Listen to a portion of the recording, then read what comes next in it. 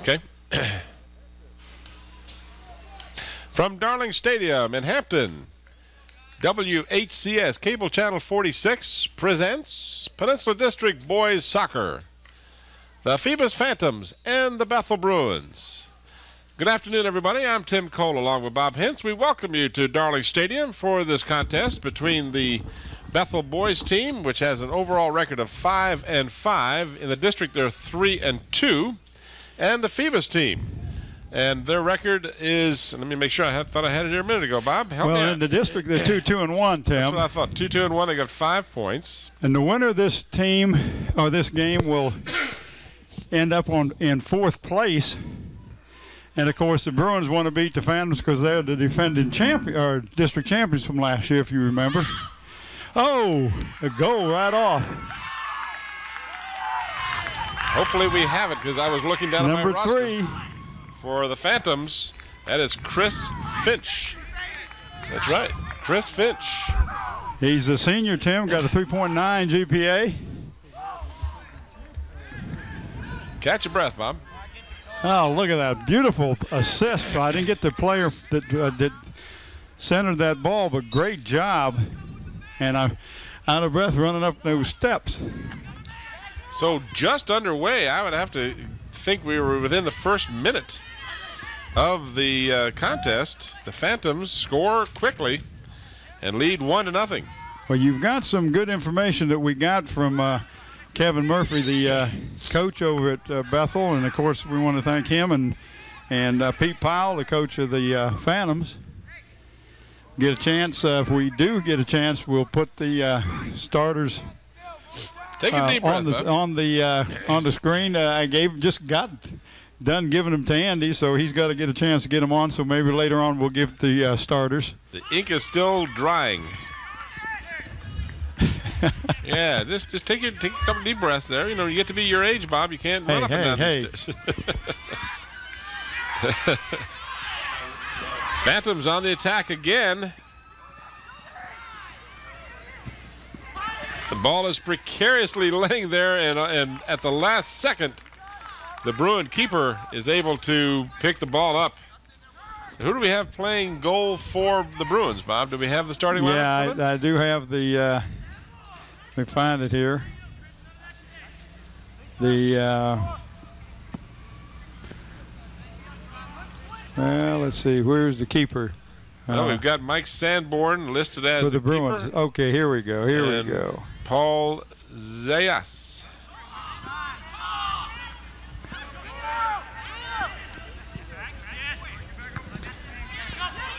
Goalkeeper, I think, is Mike Sanborn, number 10. I'm not mistaken for the Bruins.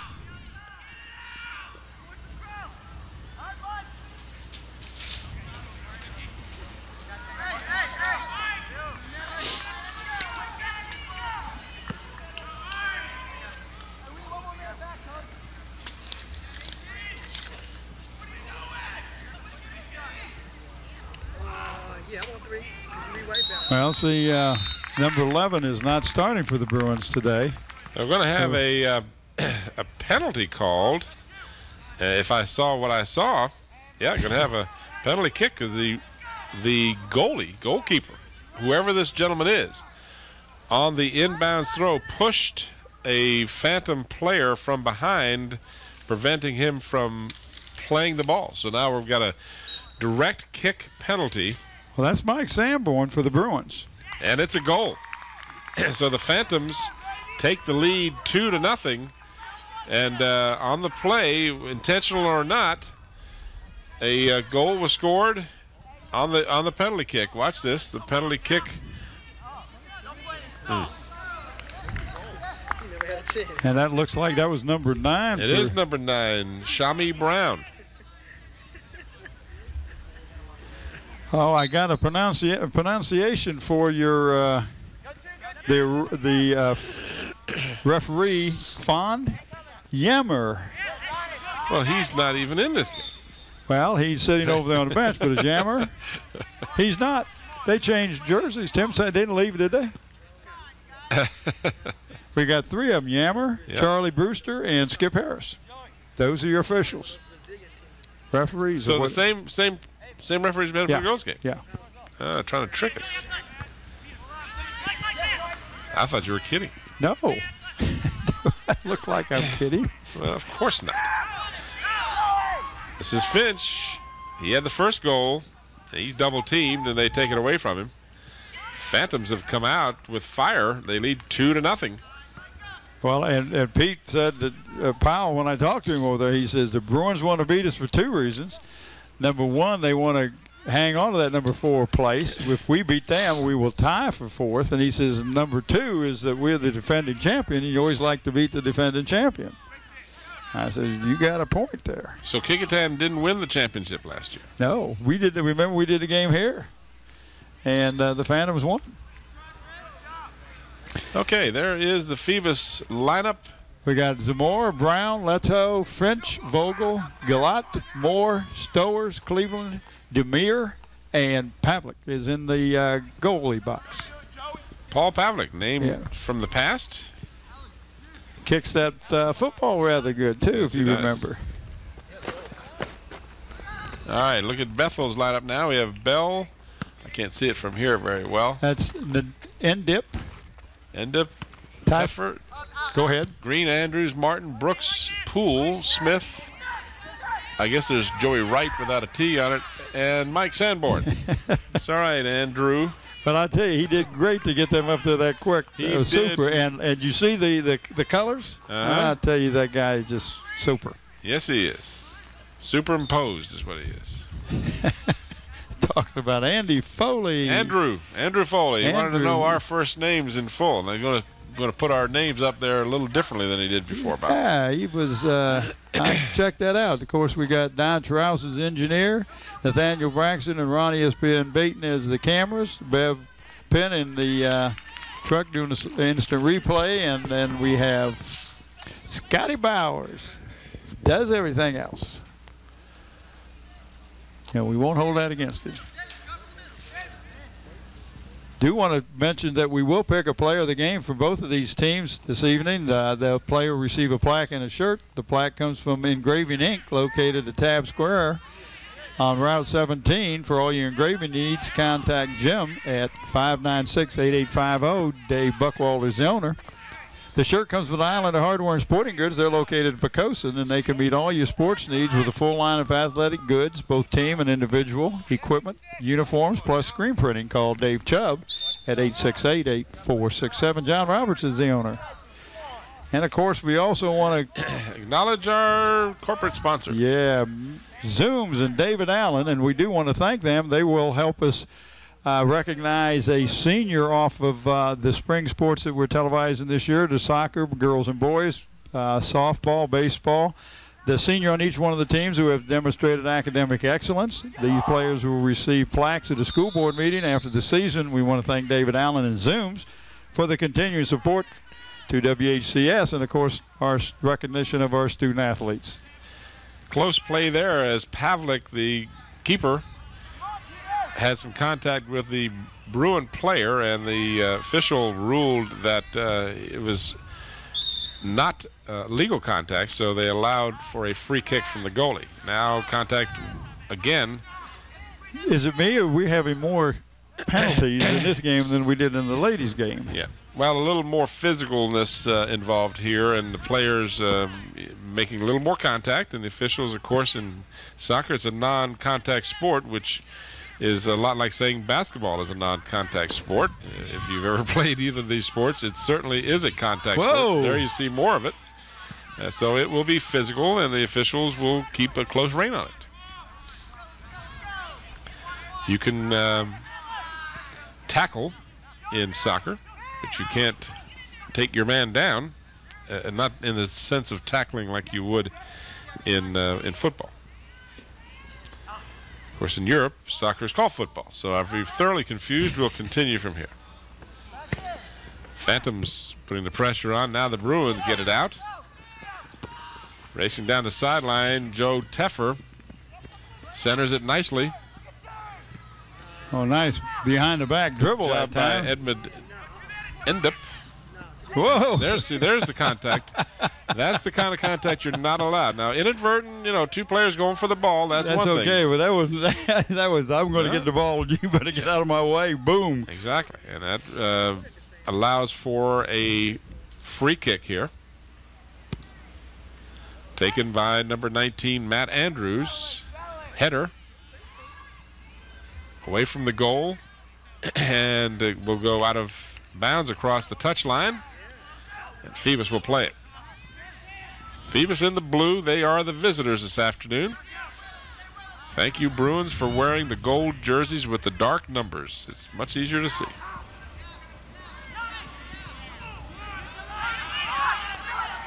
Some excellent uh, dribbling being uh, demonstrated by both teams here.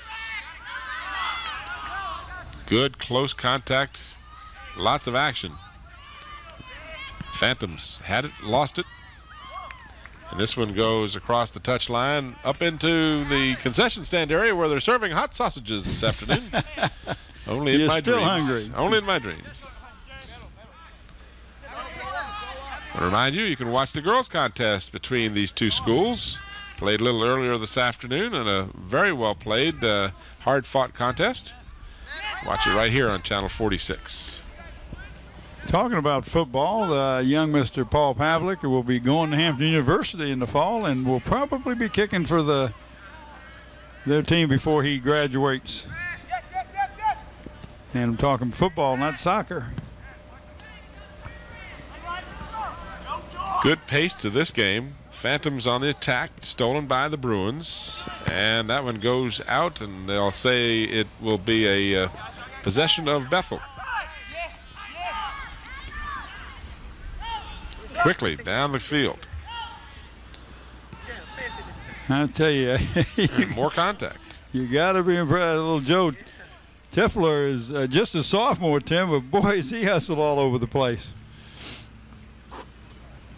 I would think being smaller is an advantage in a game like Well, this. it is until somebody knocks you down and runs over you, which is I've seen that, that happened already this afternoon. Oh, we got to go. And Every- they, and they celebrate so we know who it is. Every play is dangerous, and that one was uh, the case of the Bruins. Watch the replay. You get the number? I'm working on it. As soon as he turns around, I'm going to have it. I think it's 12. No, I, yeah, it might be Nick Bell. Let me, I'll, I'll have to pick it up. We uh, have no PA announcer, and quite frankly, we're at the disadvantage of uh, not knowing Yeah, the players. that's Yep, exactly who it it is. Okay, Nick so Bell. Nick Bell makes it a one-goal contest now. Well, he wasn't scheduled to start, Tim. Uh, he was a uh, uh, Joe Solomon was was scheduled to start, but Joe, for some reason, was not able to make the game, and uh, uh, very fortuitous for for Nick Bell in the right place, right time to bring within what is it, two to one now, right? Two to one.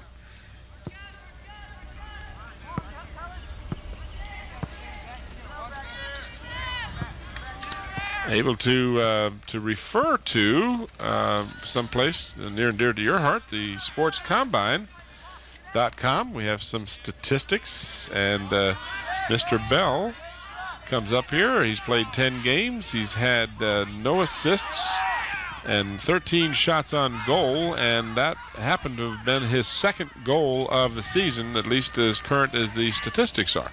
Well, they're pretty current. I got them from uh, Kevin Murphy, and I appreciate those because it really helps. Of course, it's just all the statistics for the Bruins, but uh, Now, this is sportscombine.com. When you go on there, you can find all about high schools uh, throughout the country, but uh, certainly about our immediate area. If you uh, go on there and log on, you just want to type in for the area, you want to type in Peninsula. And then you can find out rosters, statistics, and uh, game descriptions for a lot of the sports uh, that take place here on the peninsula. Centering pass is broken up. Brown had it and knocked it across the touchline. Now it'll belong to Well, let's say it was last touched by the Phantom, uh, by the Bruins rather. So it's a Phantom throw in. In the corner, Finch centering pass, and that one is wide yeah. of the goal. And that will bring up a free kick. We've had a penalty kick early in the game here that resulted in a goal by Shami Brown. That's the difference in the contest, that penalty kick. Stolen by Brown, but he can't control it. Now the Bruins back on the attack. Quickly upfield. And stolen by Tiefer. Teffer, I'm not sure how to pronounce his name. We apologize up front for our uh, lack of the knowledge of some of the pronunciation, and we certainly don't do it intentionally, but if we can get some update on the uh, pronunciations, we will be glad to let you know. But yeah, uh, Tiefer or Teffer, number four, you've mentioned his name before. Chris is a junior, 5'8", 145 pounder. This is Teffer on the kick. Bruins still controlling it. Nice tackle. Now that was what is called a tackle, Bob, yes. when you uh, actually take the ball away and, and do so cleanly without interfering with the player himself. And that one went across the goal line, which will result in a free goalie kick.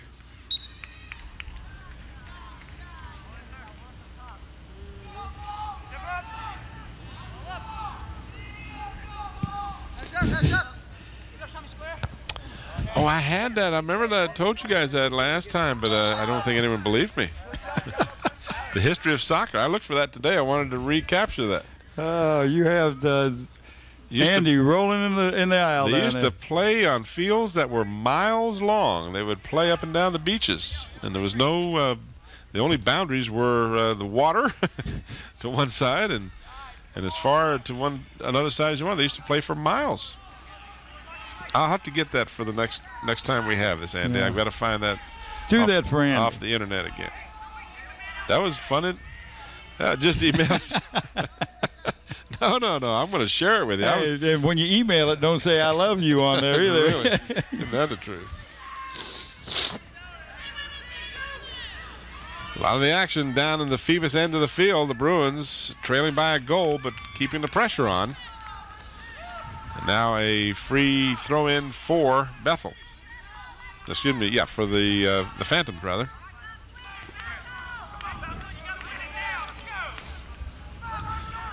Two to one is our score. Phoebus two, Bethel one. Tim Cole and Bob Hintz coming to you from Darling Stadium. This on the 5th of May, also known as Cinco de Mayo. Cinco de Mayo.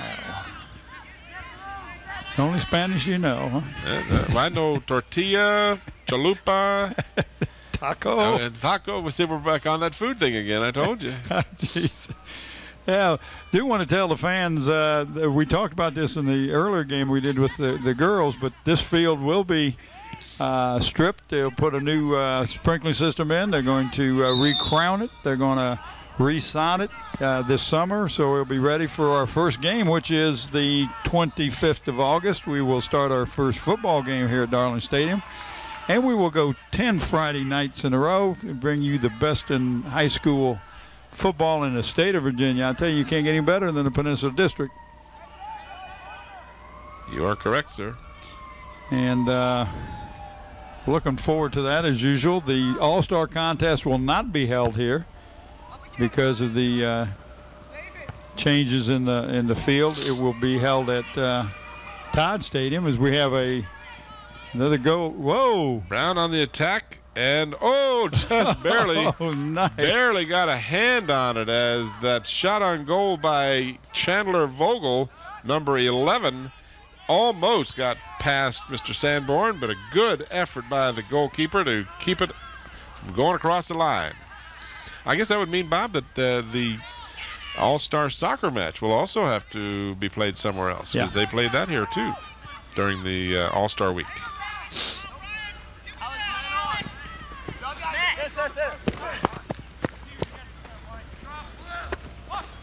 Will we be doing All Stars again this year? Football? Well, Usually we do, but uh, it's up to Scotty. We're going to have a uh, little tougher setup for us up there at, at Todd, but we will. I know we're going to have some uh, uh, young men on the on the, especially Johnny Storer will probably be playing on the basketball, and uh, Crystal uh, Clary. Clary from Phoebus will probably be on the girls team. Just to just to mention a couple that will probably be from the Hampton in uh, the softball. I mean in the, the basketball, softball. I, I, I would imagine that Amy Irvin. Not Amy Irvin. I'm sorry. Joanna Irvin, who is the pitcher at uh, Phoebus, has been a starter there for four years. Would more than likely make the uh, All-Star uh, softball squad. Uh, baseball, I don't know, but uh, we've got some uh, the Bruins that are doing right well this year. Speaking of the Bruins, nice article in the Daily Press about Kim Rowe. Oh, I tell you, Tim, I was I went over and watched the game at Phoebus when was it uh, Monday? And uh, young lady is, is really impressive. I mean, it was scoreless up through the uh, fifth inning, and uh, errors cost uh, the of two runs in the top of the sixth and two runs in the top of the seventh, and that was the difference in the game. But the day before, Kim Rowe pitched a perfect game, faced 21 batters, retired 21 batters, 17 strikeouts, and then a one hitter at Phoebus. So, young lady is really doing good. And if you remember, her brother played uh, with Allen Iverson on the uh, the championship basketball team. Uh, so that family's been very entrenched in the uh, Bruin uh, athletic fields over there. Substitutions for both teams as we um, are approaching the halfway mark of the first half.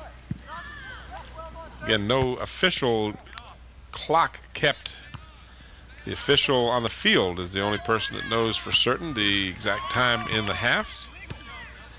Uh, we mentioned it uh, before, and those of you that may not be familiar with it, the uh, time uh, is continuous in soccer, and if there are some injuries and stoppage of play for that purpose, then time can be added to uh, the, the 45 minutes, but uh, generally speaking, clock is continuous.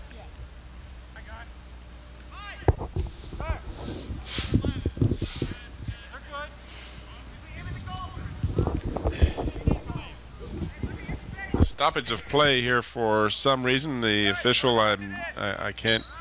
I'm going to assume illegal contact was made.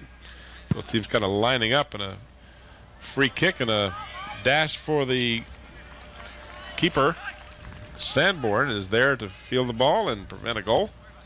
Sanborn kicks it out to the halfway line.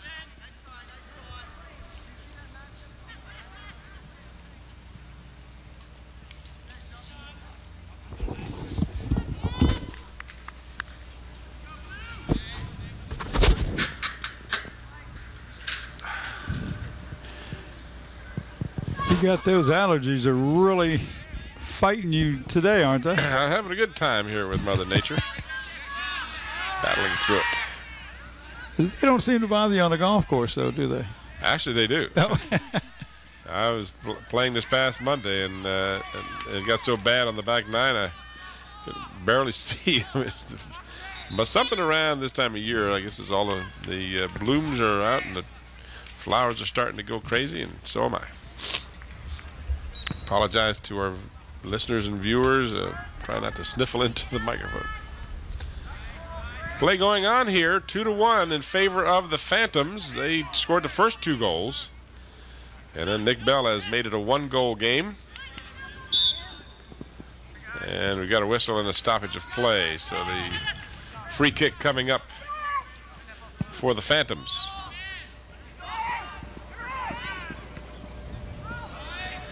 Get on goal. Wow, great job defensively that time by uh, the Bruins. I didn't get your number on Derek that young Poole, man. Derek Poole, number 18, preventing Finch, number three, for the Phantoms from uh, getting a shot on goal. Poole is sophomore, 5'6", 155. but did a great job of uh, not allowing the uh, get a shot on goal that time. Fielded by Sanborn, who will boot it downfield.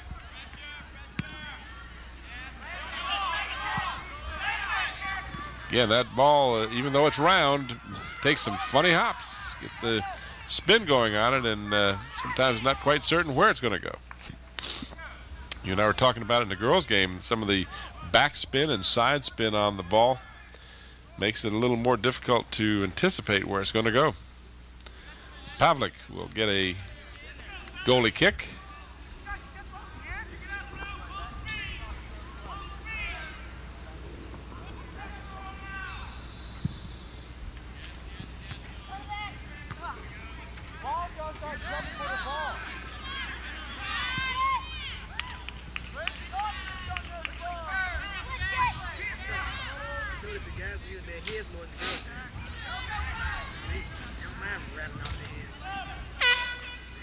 Beautiful evening, early evening for this contest. Temperatures now cooling into the 70s. A very warm day today, one of the first warm days of the year, the 5th of May. The girls' contest played in the middle of the afternoon. They had a little warmer conditions to play under. Very little wind. It's, it's really a perfect afternoon for these guys to play some soccer. Hope you're enjoying our contest right here on Channel 46. We'll have Hampton and Kecoughtan next week. The game will be played here at Darling on the 10th of May, and we'll have it for you here on Channel 46.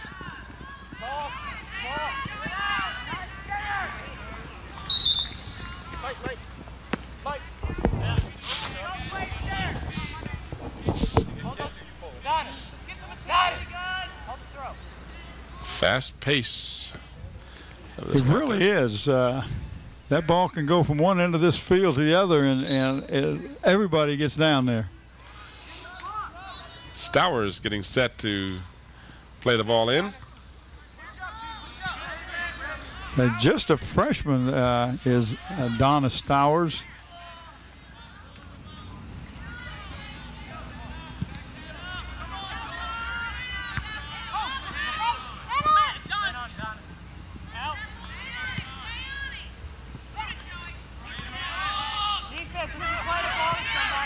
Phantoms now with an opportunity.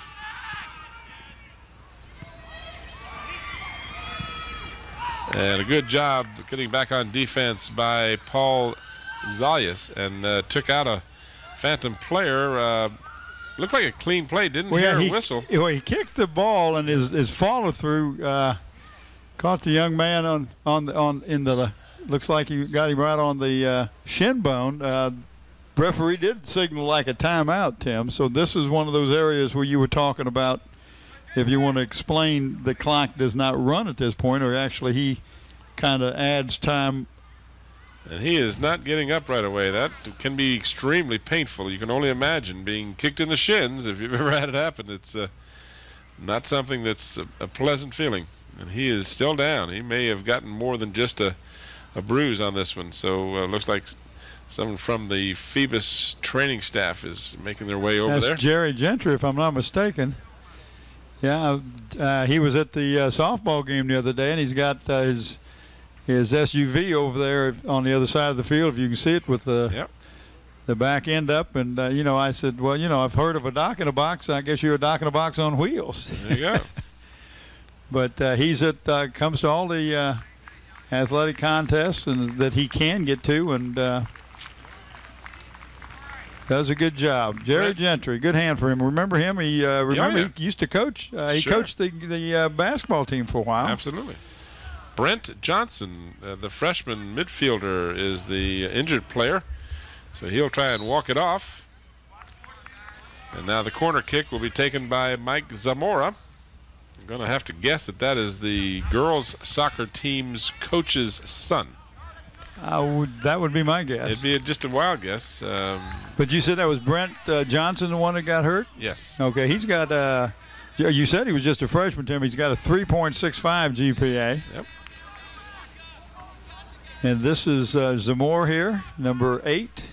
We'll do it again, as that one was knocked over the goal line by a Bruin.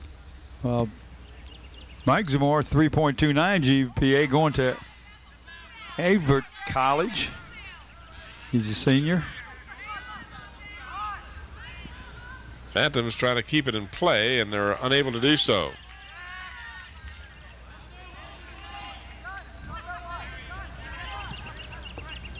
You notice how much faster they get the ball in? They, they're, oh, yeah. they're trying to catch the other team uh, Absolutely. kind of sleeping a little bit. Reminds me of international basketball rules, you know, where the Oh, referee doesn't have to touch the ball. have to yeah. touch the ball, and they uh, sometimes just standing there, kind of looking around, and before you know it, they've gone down the court. Very similar. Bruins on the attack.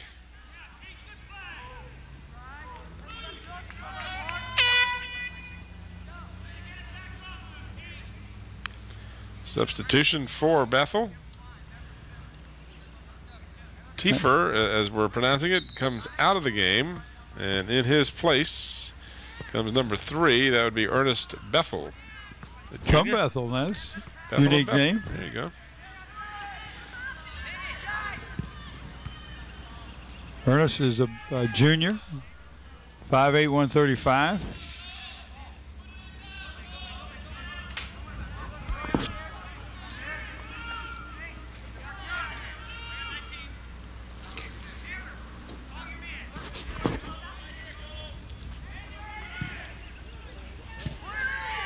Dangerous territory. The ball loose. Blocked at the defense. The Bruins putting the pressure on.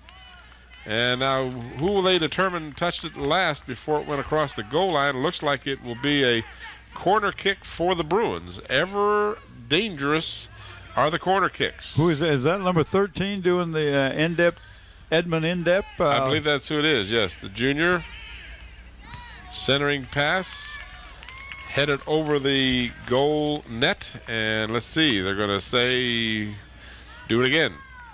That was apparently uh, last touched by the Phantoms. So Edmund will do this one again. Going to hook that pass in there. Ball loose and uh, knocked over the goal line, and this time it was knocked over by a Bruin. So it'll give the the Phantoms a, a goalie kick. And it looks like number 14 is uh, Ben Demir, uh, who is a, a senior sweeper, uh, GPA 3.26, going to the University of Georgia, North Georgia. Uh, is uh, bringing the ball, putting the ball in play.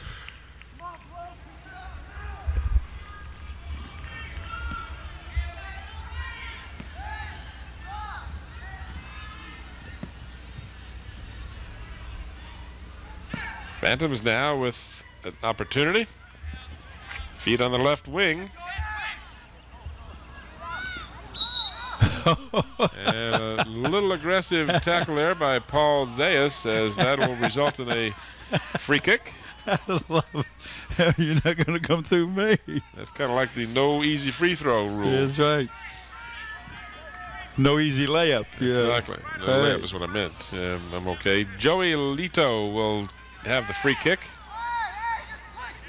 Got some pushing going on between the players. One of the Phantoms found the dirt. Now the official stops the play. Maybe going to uh, issue a warning. I'm not sure exactly what he's going to. He's going over to talk to the official on the sideline.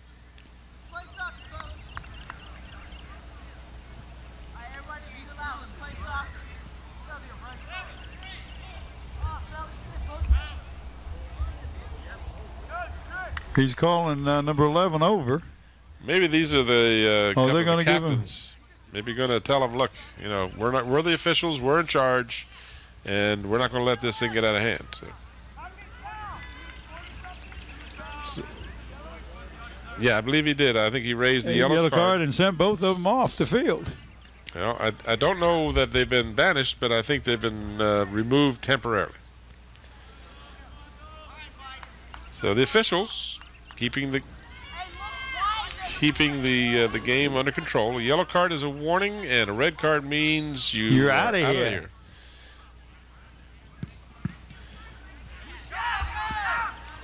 Blocked at the defense.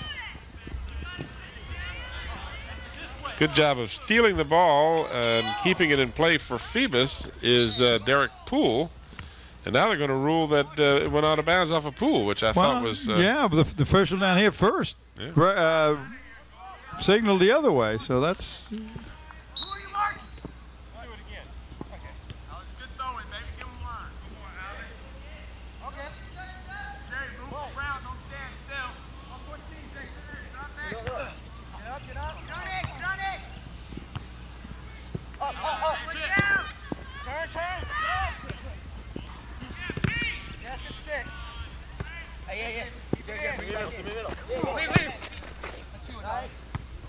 It's not tough enough to be running up and down the field, but then you got people banging on you.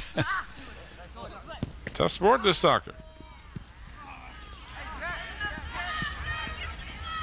Bruins now have something going. Pavlik back, and it is a goal. looks like it was that number four.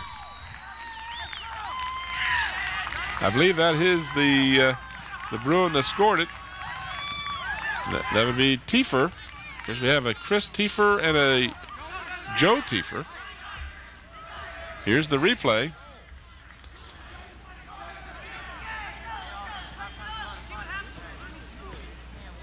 Well, I'm assuming that's number four. That that number in the front is so small. Yep, I think you're right.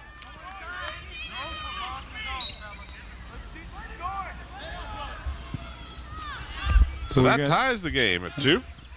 The contest, I should say, the match.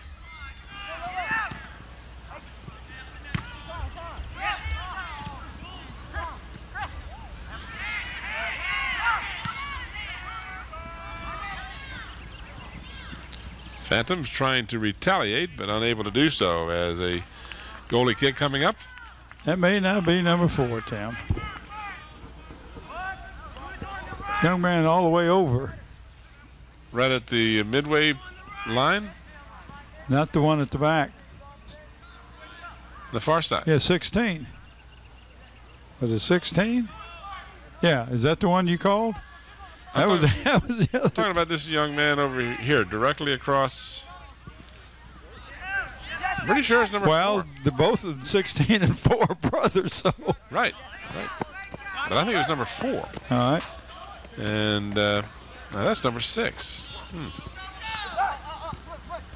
Well, we apologize. The uh, the numbers are hard to read, and it's fast action, and it's hard to keep up with at times. But... So you're, Oh, I you thought it was number six, six? I thought it was number 16, the young man all the way over in the back. Well, we'll have to put an asterisk next to this one. If that's the case, we want to. It's a Tiefer, either way. Yep. 16 or 4. Well, I don't see four out there. Do you? Well, not at the moment. He may have come out.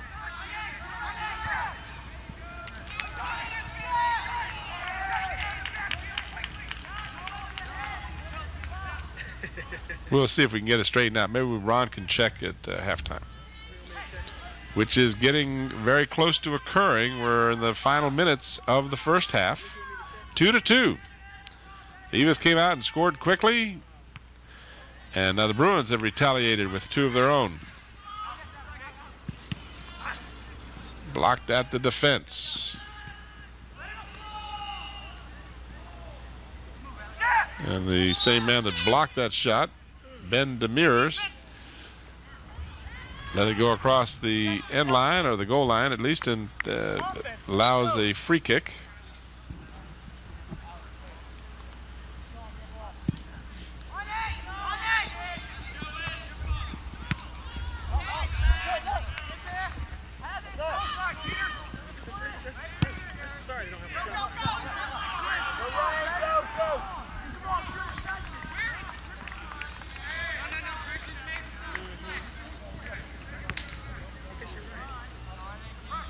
I believe it's number 16, Tim. I Okay. just, just That would be Chris Tiefer, if we're pronouncing the last name correctly. T E I F E R. We hope we are.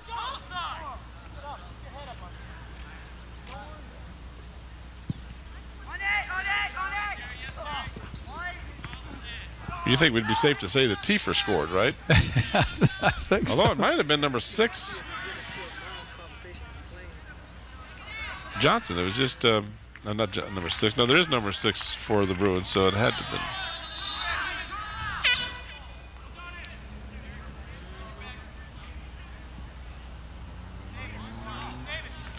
Well, I've got one roster that has a number six on it and one that doesn't. For the uh, Bruins? Yes. Yeah, six is uh, have- uh, Ryan Cunningham. Well, I even have two number sixes on this one. Oh, this is the new one. This is the one he gave us. Okay.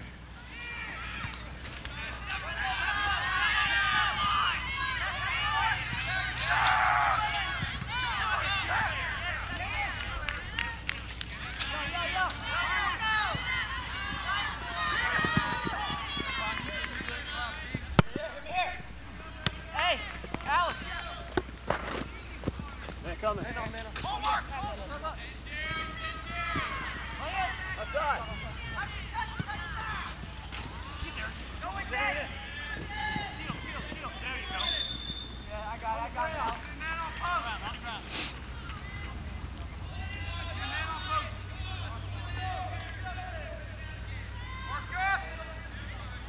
A great picture there on channel 46. A dusk setting, the sun setting over to our left, and on a beautiful late spring evening. Temperatures in the mid to upper 70s.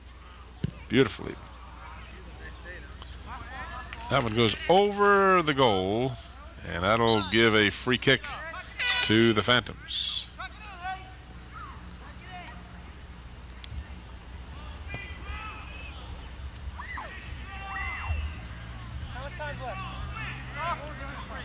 Ernest Bethel will come out and he will get a breather.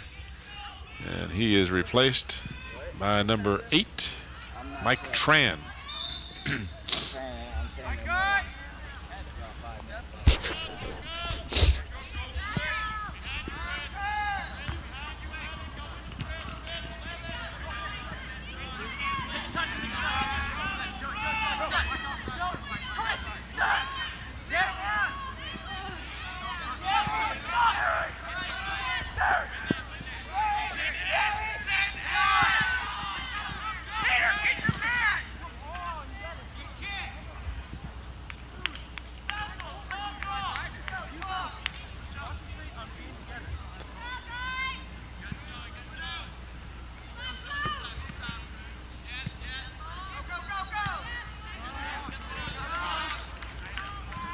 Time winding down here in the first half.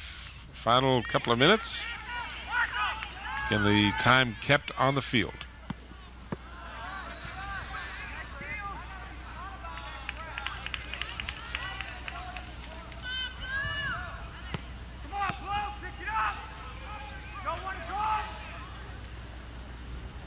And during the second half, we will have lights, I'll bet.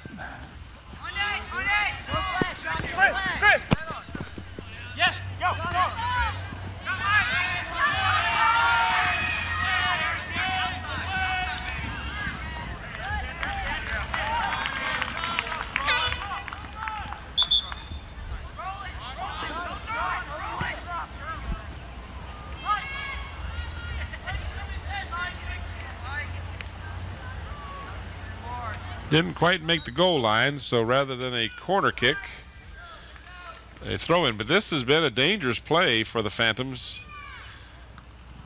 The header is off the mark, and the kick over the goal. So that will give the Bruins the free kick.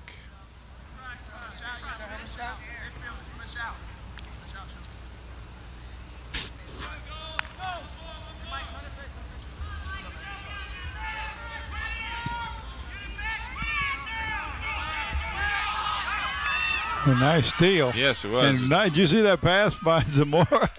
Excellent pass. Staying Get with off it. my leg. Staying with it. That was number 11. That was Number really 11, working. Chandler Vogel.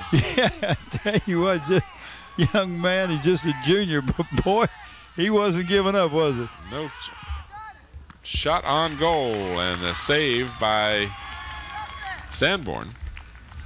And that will allow a corner kick to uh, occur by the Phantoms, the very dangerous corner kick. And this young man who's been doing the corner kicking is uh, has really been accurate with that centering kick. This one ends up a little too tall.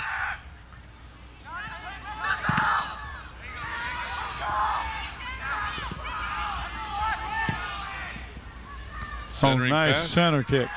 And the header is fielded by Sanborn.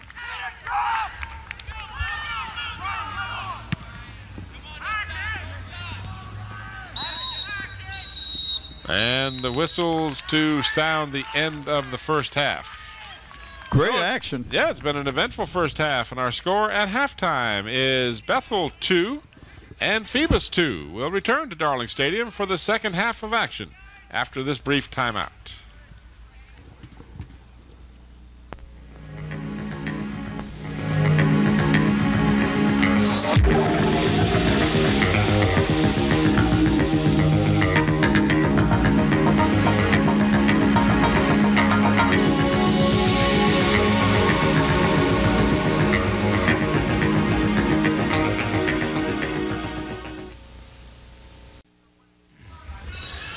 Right, second half underway as we're tied two to two, Bethel and Phoebus, and a, uh, a, a monumental moment. Bob was correct. It was not Joe Tiefer, it was Chris, number 16, scoring the Bethel second goal to tie this contest. So, uh, Bob, I take my hat off to you. You were correct, sir. I believe you, except that you don't wear a hat. Well, if I, if I wore a hat, I'd take it off. Okay, that I'll accept. We have a new goalkeeper in the game for Bethel, Paul Zayas, who uh, was playing uh, a forward position in the first half, but he has taken over the position of keeper.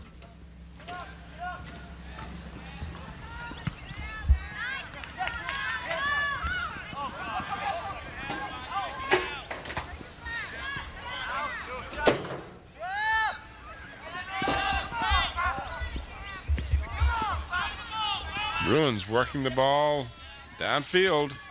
Good job by number 13. That is the dip, and he goes down holding his right shin, and he took a, a whack. Slow to get up, but he is up.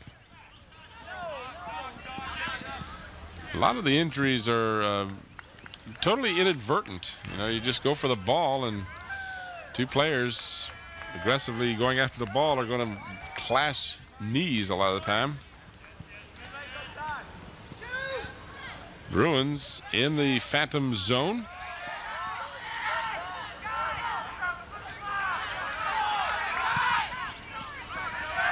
Oh, nice. That one hit the top of the goal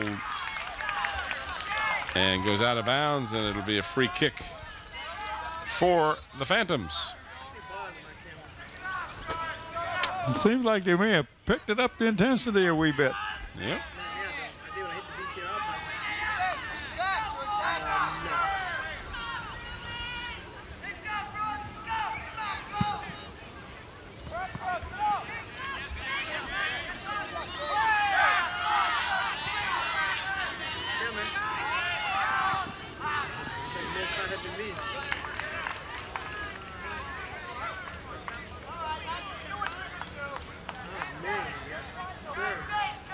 Another goalie kick coming up. Some nice moves by Jerry Brooks, a junior for the Bruins, but uh, unable to sustain it. Paul Pavlik will boot it away. Well, I have some uh, few things here from uh, Phoebus. Let me uh, run down those things for these young men. Get a chance to talk to them all. Number 22 out there is David Cleveland. He's a senior. He's got a 3.7 GPA. He's going to go into the Marine Corps at the end of the season. Uh, Omar Carter is a senior. He's going to go to Thomas Nelson. Uh, Jeremy Binder, uh, forward's got a 4.4 GPA is just a junior. Ben Demir I don't. If, I'm not sure if that's where you pronounce it. D E M E Y E R E. Demary uh, is a uh, senior, GPA of 3.26, going to the University of North Georgia. Chris Moore, senior, uh, GPA 3.65, going to Old Dominion. Peter Galat, senior, GPA 365, going to Valley Forge. Mike Zamora, senior, GPA 3.29, going to Averett College. Uh, Brent Johnson, number six, is uh, just a freshman. He's got a 3.65 GPA. Uh, Chris Finch has got a 3.0 GPA, it looks like. Senior going to go to University of Washington State. Brian Hunter uh, is got a 4.0. He's going to go to Virginia Tech. He's a senior, and Paul Pavlik, of course, senior, going to Hampton University. He's got a 3.15 GPA. Now, I don't have any GPAs for Bethel. I apologize, but uh, I can only give you what I am given. Given. Right. Ali. Talk about the uh, Bruins. We have uh, Ricky Smith as a juniors. Uh, they got him listed 6'5", 175. Uh, Joe Solomon uh, is not with us today. He was supposed to be here, but he had a previous thing he had to do. Bethel, Ernest Bethel is a junior, 5'8", 135. Joe Teifler, is that the way you pronounce that? There's no L in there, so I'm going to assume it's, it's Tiefer or Tiefer. Tiefer. Again, apologize for our mispronunciation. Joe is a sophomore, 5 foot 105. Uh, number five, Joe Wright is a senior, 6 foot 180. Number seven, Jerry Brooks is a junior, 5'9", 155. Mike Tran, number eight, is a senior, 5'6", 170. Andre Green, number nine, is a junior, 5'7", 145. Mike Sanborn, number 10, is senior, 6 foot 255, is one of the goalkeepers. Number 11, Paul Zayas, uh, senior, 6'2", 175. Number 12, Nick Bell, scored uh, the first goal of the game, senior, 5'8", 135. Number 13, Edmund Endip, uh, junior, 5'9", 140. 15, uh, Alex Martin, junior, 6'3", 175. Chris Teifer, 16, no, as a junior, 5'8", 145. Clinton Wallace, number 17, junior, 5'9", 155. Derek Poole, 18, a sophomore, 5'6", 155. And number 19, Matt Andrews, a senior, 6'2", 190. And the last one is Scott Loftus, number 20, a junior, 6 foot 175. And it's getting darker, and I don't see the lights. no. I wonder what it's going to do to it. It's a great shot with the camera, people. It will be until that sun goes completely away, and we will be in trouble. Because I don't think we have enough time. Well, they started exactly at 7.30, so they have until 15 after. And methinks it will be dark by that time. The sun sets about uh, 10 till 8. It looks like it's, uh, well, it's behind some clouds over there, which is not helping any.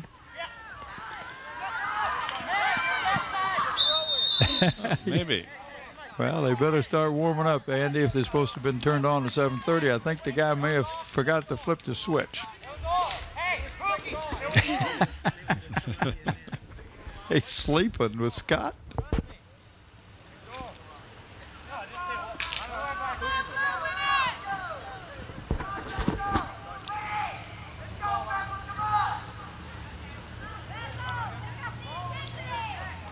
Played about eight minutes of the second half. Two to two is our score. If you joined us late, you're watching the Peninsula District boys soccer match between Phoebus and Bethel. Phoebus opened the scoring with Chris Finch scoring in the first minute to make it one to nothing, and then Shami Brown on a penalty kick made it two to nothing at the five-minute mark, and then Nick Bell scored about 15 minutes into the first half to make it a two to one game, and then Chris Tiefer or Teifer, and again we're uh, apologizing for the lack of knowledge on the pronunciation, but number 16 he scored, and that's the scoring to date, two to two. Bethel and Phoebus. coming into the game, as I mentioned, the uh, Bethel team with a two and two record. Phoebus with a two and two and one record, so they've gotten an extra point from that tie. They have five points and are in sole possession of third place. Now, if this was a TV commercial, we'd have cars pulled around the side with the lights on with diehard batteries or That's right. something, right? Starting to get darker.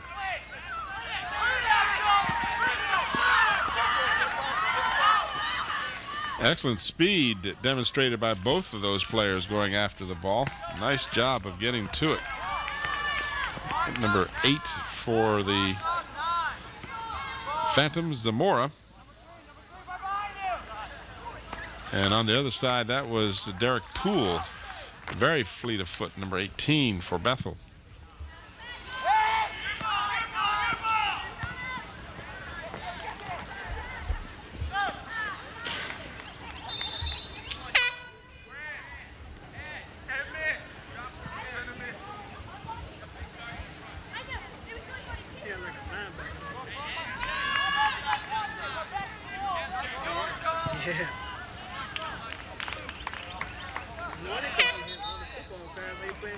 Mike Sanborn, number 10, is uh, in as a defensive uh, player for the. No, he's. Yeah, defense for the Bruins. You can spot him. He's a little bigger than the rest of those young men out there. 255.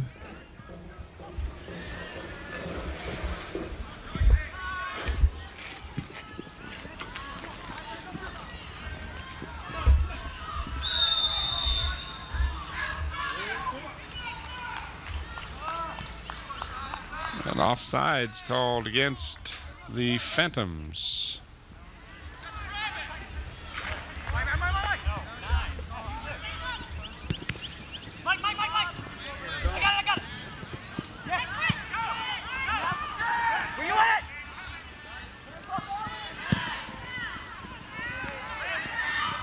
Had a chance. In on the play was Chris Finch, who scored the first Phoebus goal, but unable to get to it before Nice pass by uh, Zamora. Zamora. Yep.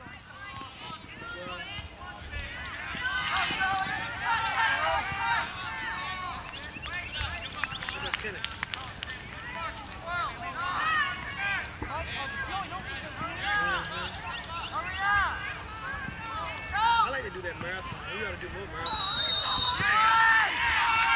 Oh, we got to have a penalty kick here. Well, could have been if it's inside that penalty box. When the contact is made, they can have a a penalty kick called. That looks exactly what we're going to get. And That's number 13 for the Bruins. That's uh, Edmund Endep. Who's the next for, So golden opportunity for the Bruins here to take the lead. Paul Pavlik pretty much at the mercy. And a nice stop. End up shot right on and Pavlik there to make the stop. Anticipated which side he was going to. Boy, I tell you, that was like awesome, wasn't it? You watch your replay here. We're going to show it to you again. This was just a, a good anticipation on the part of Pavlik and moved to his left and made the stop.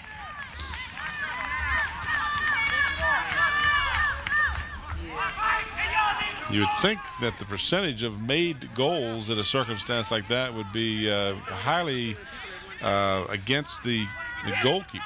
Yeah. With that, But uh, you, you, you, I don't know what how much scouting they do, but uh, you, you have a tendency that the, the kicker has a favorite spot or a favorite side that he goes to. If you're right-footed and you're at that angle, maybe you go more to the left side of the the goal. But anyway, he he did. He just anticipated. That one shot over the goal, which, by the way, is not easy because that goal is eight feet tall, and the width of the goal is exactly eight yards wide. Eight feet, eight yards. Eight feet high and eight wide. That is yards. saving that. I was just saving it for that right well, opportunity. Well, I'm glad you brought it up then because that was a perfect time.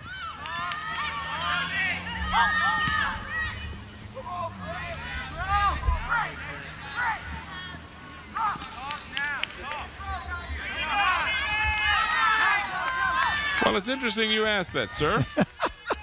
and the that question, actually, this question that he was asked. The question I was asked Question was asked. Wouldn't that be meters since the origin of soccer is? Uh, yes, it would. And the exact width in meters is 7.32 meters, and the height is 2.44 meters. So, Now that you ask, Scotty, glad you, you asked. got any other questions you want to answer, Scott? This guy is. Actually, the oddity was that the, the size of the goal is exactly eight feet and exactly eight yards, which, you know, you would have figured they would have figured out an exact measurement of meters for it to be, but it's actually 7.32 meters wide and 2.44 meters high, the opening of the goal. That's true. That's a very good point. And, and all the other measurements are in yards, which is odd. The arc of the circle um, in the radius is 9.15 meters, or the equivalent of 10 yards. Well, you know, it sounds like an American figured out how big these things should be and used the yards, uh, Yeah. yards and feet. Possibly that. Possibly, who knows? But at any rate, even know how tall those little flag posts in the corners are supposed to be. I got all of this stuff. Dealing with your average dummy here, you know. I'm above average. Uh, trying to tell us you do your homework, don't you? Well, I tried. I didn't get as much information as I wanted, but next week I'm going to have more information than you could even want to know. I, know, Scotty, before you said you're right. Undoubtedly, I will. Heavy contact. Let's see how they call this one. They say that was uh, the Bruins who precipitated that contact, so they'll allow a free kick for the Phantoms.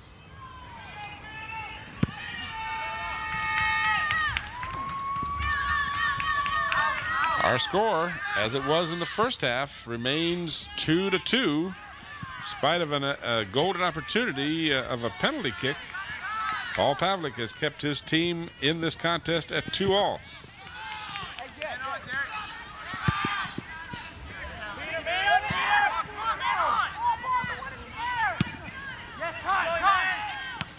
Played 15 minutes of the second half, a little more than 15 minutes to be exact, 16.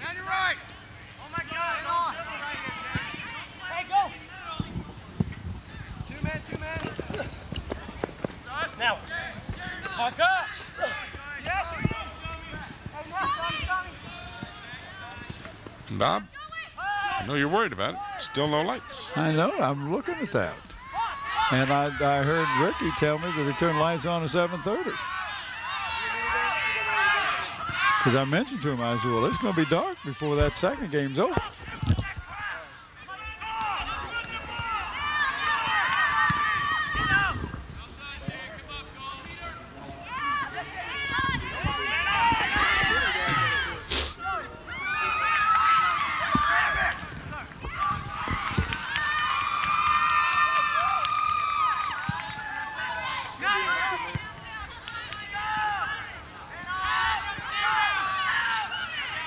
Could be Bob that didn't anticipate this game would last long enough for there to be a need for lights. Well, Uh, the but, game you know- started late because of the overtime. Well, but even then, with if it's if you figure two hours of game from uh, you know 4:30 to 6:30 and 6:30 to 8:30, and that's what I mentioned to uh, to uh, Rick Rawls, and he said, "Yeah, we'll turn had lights on at 7:30. That young man's not going to the right place." I told him to go, but maybe he knows somebody down there who knows something. I don't know. I saw someone standing down there and probably figured he might know.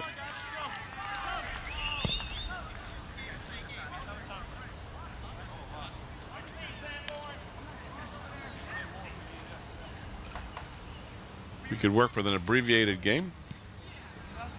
Cancel the last 10 minutes. Well, If it gets darker, we'll have to. unless unless they start wearing clothes that glow, we're not going to ball that glows. No, we're, we're fortunate with our cameras that uh, they've had sufficient lighting. Oh, great save! Hey, nice effort on both parts. Uh, Zamora streaking down the right wing, put a shot on goal, and Zayas made an excellent stop. The goal, both of the goalies in the second half have made some tremendous stops.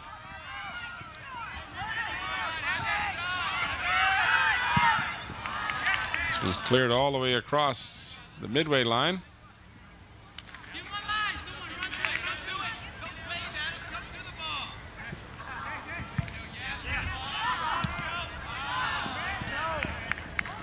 Pavlik comes up to Rabbit, and he'll kick it downfield. Bruins bring it right back.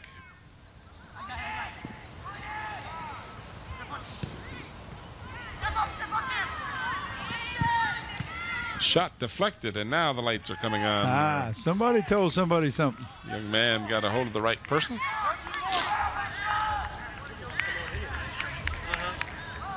They on the time here. They got to do anything. Does take him a few minutes to get up to uh, speed.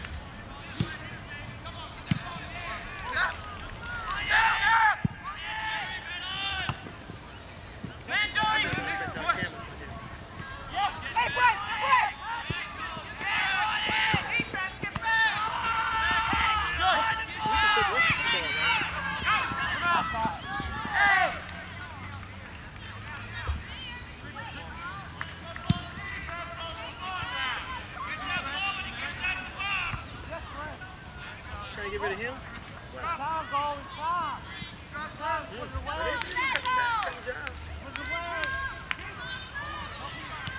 Shame it. I do want to remind the fans that uh, we will uh, recognize a player of the game from each one of these teams this evening, and that player will receive a plaque and a shirt. Plaque comes from uh, Engraving Inc., located at Tabb Square on Route 17. For all your engraving needs, contact Jim at 596-8850. Dave Buckwalter is the owner. Shirt comes from Island of Hardware and Sporting Goods, and they're located in Poquoson. They can meet all your sports needs with a full line of athletic goods, both team and individual, equipment, uniforms, plus screen printing. Call Dave Chubb at 868-8467. John Roberts is the owner. And of course, we do want to thank again Zooms and David Allen for allowing us to recognize the senior boys soccer player, girl soccer player, the softball, baseball, uh, from the Hampton City Schools who has uh, demonstrated academic excellence. These uh, young people will receive an award, a plaque at the school board meeting that usually towards the end of the season. And we want to thank David Allen and Zooms for the continued support of WHCS and our student athletes. And if you're listening, David, Send potato wedges and fried chicken. we could use it. Use the nourishment. Use the nourishment. Of course, talk about uh, HCS reports. It has a new look this year. Join Beth Sadler, the uh, anchor, on Mondays and uh, through Friday at noon, and again at 5 p.m. for all the news and information about the Hampton City Schools. And of course, the first and third Wednesdays of each month, uh, the school board meets, and you can see that live here on Channel 46. And that starts at 7:30. And uh, if you need to, tune us in. Tune in, be informed. And we still want to talk about Homework 2000 or the Math Zone. Uh, WHCS Channel 46 presents this. This is a live, televised, interactive call-in program for students to get help with their math. Join Tyler Elementary teacher Cassandra Hamilton and Davis Middle School teacher Sherry Martin Tuesdays and Thursdays at 5 to 6 p.m. Give them a call and join them at 850-5426. And it just keeps getting lighter and lighter Yeah, and lighter. lighter. All right. So and the sun can set. We don't care now. our cameras can give you the shot. Two to two.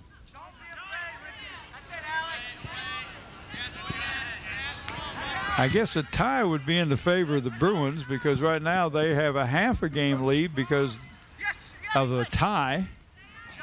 So if there's another tie, that would uh, give them a full game lead then, I guess, huh?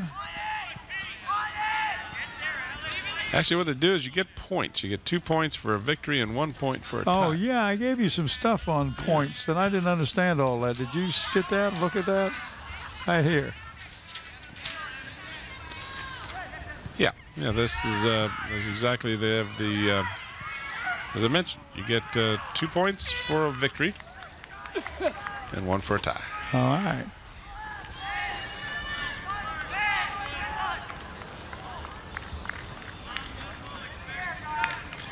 Put Oh. some, huh?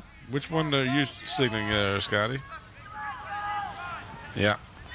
There's been some good good efforts on both sides. Uh, some excellent hustle being demonstrated. Talking about Nick Bell for the Bruins is do- doing great. In fact, he not only good defense, but he's the one that uh, Scored, one of their goals. He scored the first goal, didn't he? Oh, he's talking about number 12 for the Phoebus. That's Chris Moore, a young man going to Old Dominion in the fall.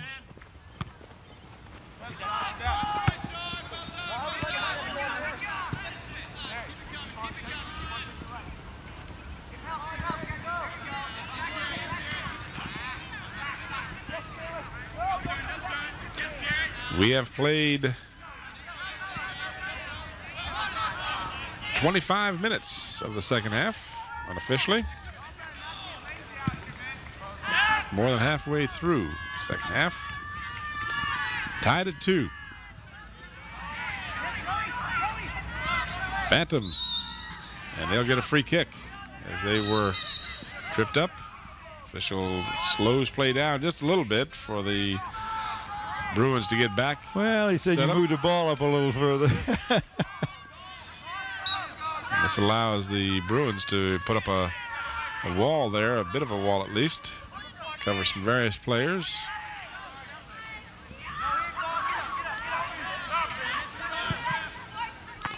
And this one shot right at the keeper.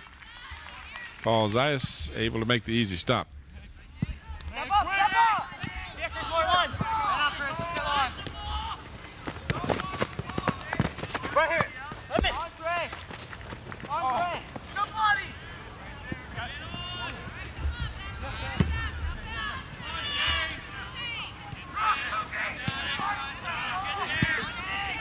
Yes, win it there. Take the throw now. Come over here. Yes. Hey! Hey!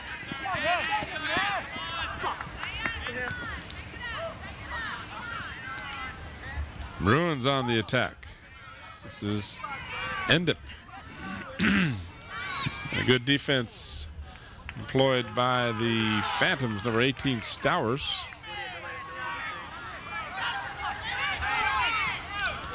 And forced the Bruin player to uh, kick it over the touchline. So it's a throw in. You know what it's Yes. And this one was out off of a Phantom. So the Bruins will have it.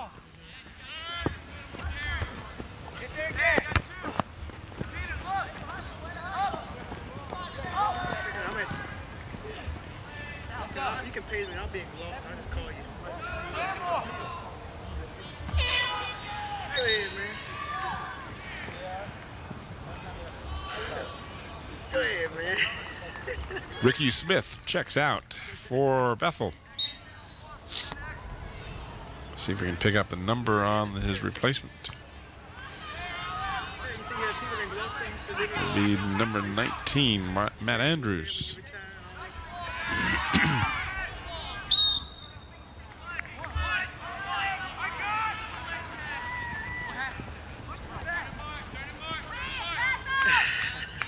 Phantoms with a free kick. Lost their rotation. Got for it, too. They run the 4 by one and 4 by 4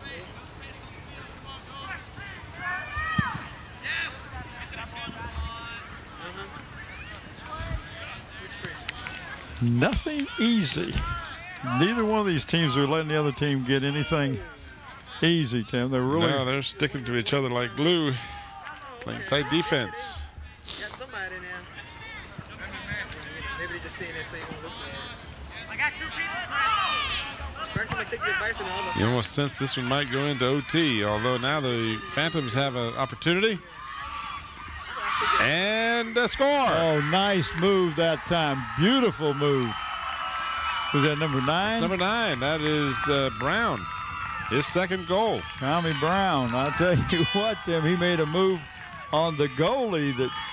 Watch this move right here. Now, what? See that? Just took the goalie out of it. And Zayas is, uh, Zayas, I think it is, Paul Zayas is, uh, appears to be shaken up.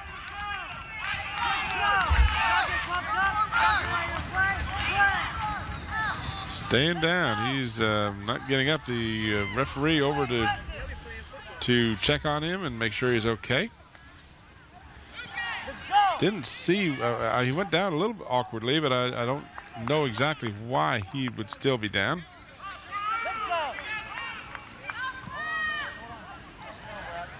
You may remember Sanborn, who is standing nearby, started the game. I guess uh, Zayas just uh, had the wind knocked out of himself, but uh, he's up and hanging in there. And he probably a little disappointed himself too. He was uh, faked out of position. He came out, cut down the angle like he's supposed to do, and then uh, but a great move by Shami Brown, Jr.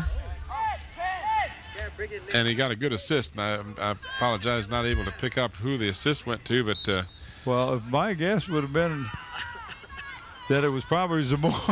yeah, it, it probably was Zamora. I think you're uh, you're probably right. In any event, the Phantoms have regained the lead. They led two to nothing, only to see Bethel tie it up. Now Pavlik makes a play on the shot on goal and a save.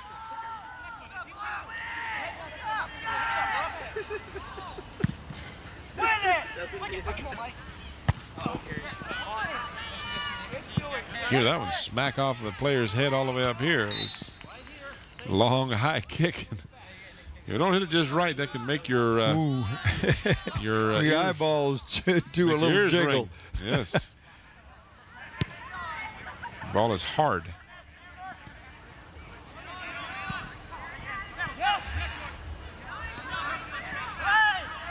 Phantoms. And the ball gets past the defender.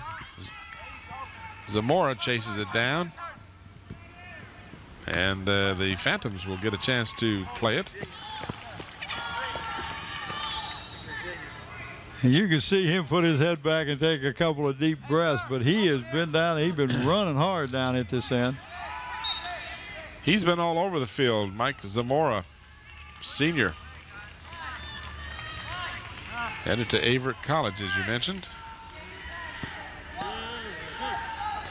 I like the hair. Makes it easy for him to be spotted on the field. Huh?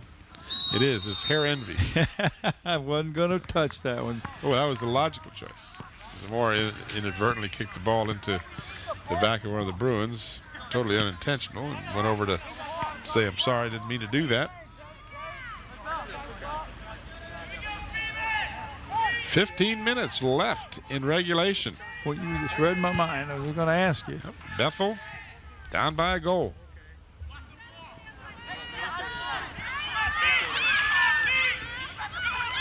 We have a taste good right about now. Heavy contact.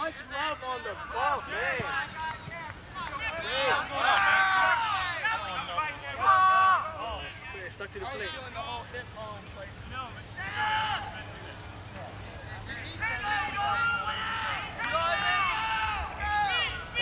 Be a free kick for the Bruins. That'll be Matt Andrews taking it.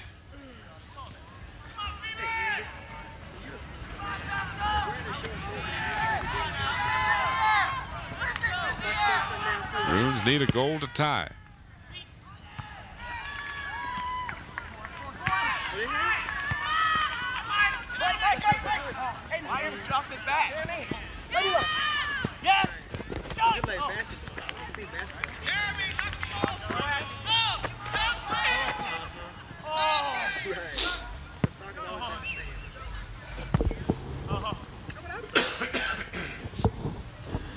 Phoebus keeping fresh troops in there, substituting very freely during the last uh, half of this second half.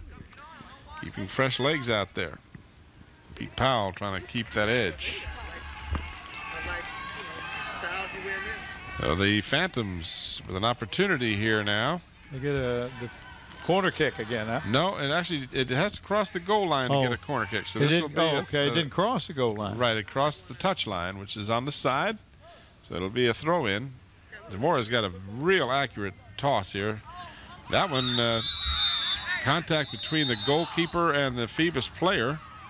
And the goalkeeper, uh, Zayas, uh, still smarting from that goal he gave up a moment ago. Uh, had a word or two for the player that bumped into him, and neither player uh, wanting to back off here. And cards will be uh, demonstrated to both sides. And now tempers are starting to get a little ugly here.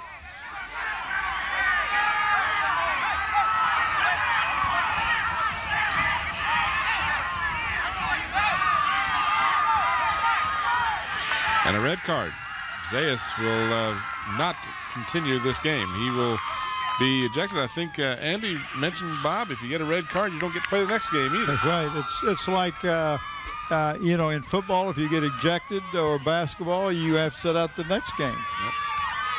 Uh, VHSL. Uh, that's a ruling from the VHSL. So uh, And nothing, you know, nothing more than uh, just some glares and uh, a little bit of uh, body language, but uh, oh, I think a little, a little more, than a little bit about. Well, a but- lot. of well, there weren't any punches thrown. no, no, like but that. there It was. Uh, but they were told to break it up and didn't do so, and and the officials keeping control of the game said, "Look, we're not going to put up with this." So uh, Sanborn will don the appropriate gear, and he will go back in at goalkeeper.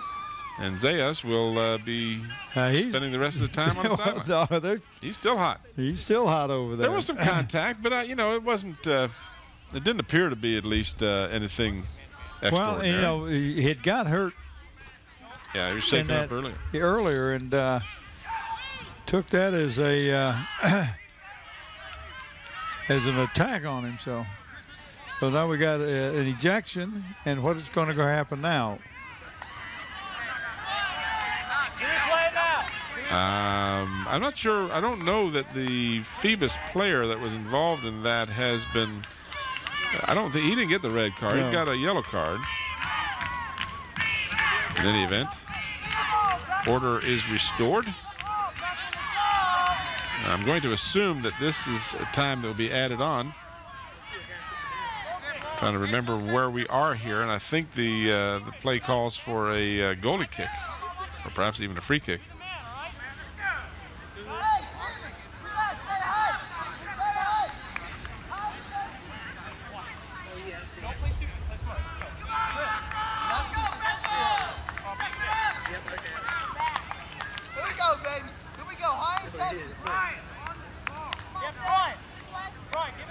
Hopefully, we can resume soccer and not hockey.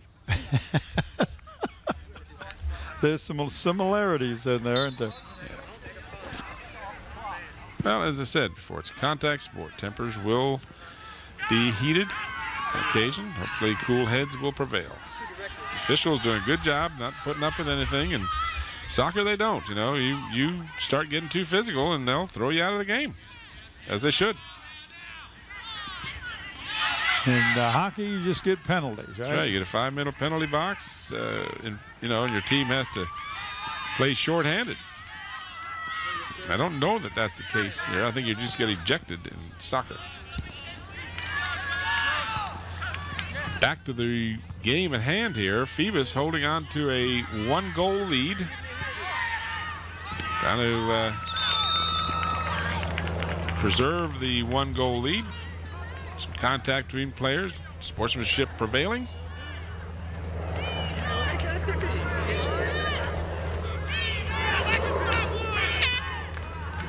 Free kick for the Phantoms.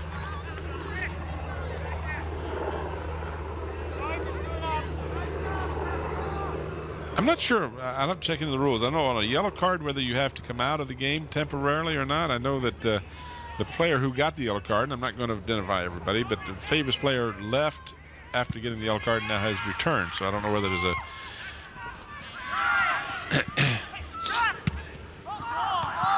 Mhm. So you get one yellow card, and on your second yellow card, the yellow card turns red With envy, with uh, ejection.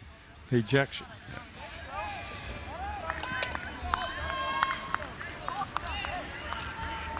Ha, if the time had been running continuously, we're about six minutes away from the end of time. But I have to think they will add time on for that uh, that uh, Display of minute- tempers. yeah, that, that, that altercation, uh, for lack of a better description. Boys will be boys. Nobody, you know, no one threw a punch or anything. No blood, no foul, right? Isn't that how it works? That's exactly right. You got it. You got it. Players of the game, Bob. Well, uh, Phoebus, I'm going to go with Shami Brown. Who we going with Bethel? Held that one up for me a while ago, so I get to do the Bethel side of this thing, huh? Well, gonna have to think about that one since I've been given that task, and it's tough. There's some good play out there. There's been some excellent efforts. I tell you, who's done a nice job of uh, bringing the ball down the field. That's uh, Andre Green, number nine. He's just done a real nice job of that. Nick Bell has a goal, and, and uh, we mentioned earlier he's played some good defense. So I'm going to have to give this a little further thought, though. I tell you, it was it's between Shami Brown and uh, and Mike Zamora because Yeah, Zamora's been Zamora's instrumental. just been all over the field. Yep. You don't have to score goals to be extremely important in this game. Setting them up is many times uh, even more difficult to do than scoring Yep. a goal.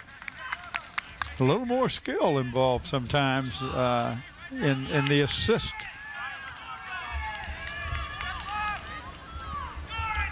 Well, I'll reserve my pick because if one of the Bruins comes back to tie this game up, it might change my choice. So I'll hold off until the conclusion here. Phoebus holding on by one. Back on the attack.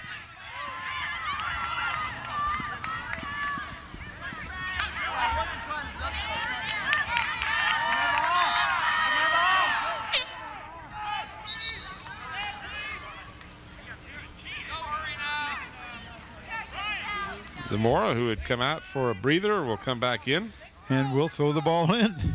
Yeah, they need him. I'm He's telling you, he has been, he is the man. He does the throwing in. There's no question about who's the, the designated thrower, if there is such a thing. He's look at that high drifting toss there that allows his teammates to get an opportunity to either head it in or kick it in.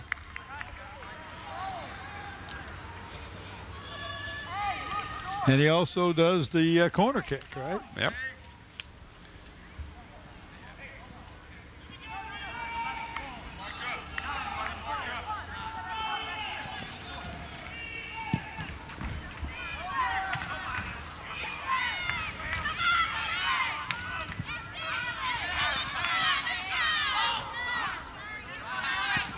Time winding down.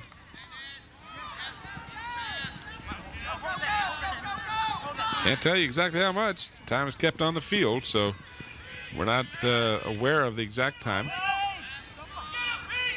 Referee keeps that time.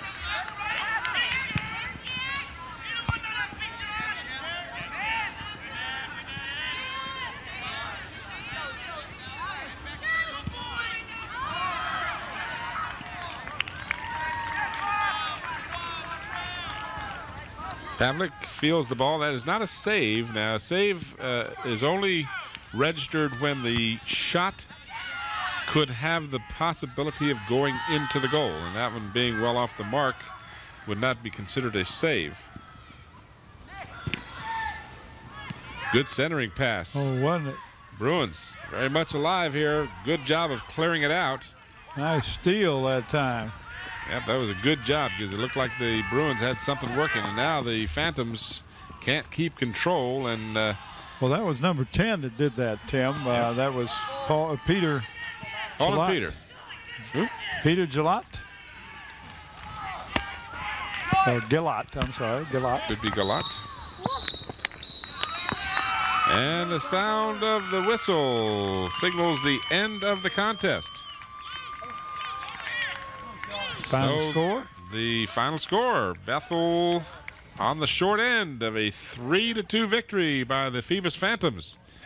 Tempers got a little bit uh, warm there for a while, but uh, cooler heads prevailed, and I see the, the players shaking hands. My player of the game, tough call, going to be Chris Tiefer, number 16.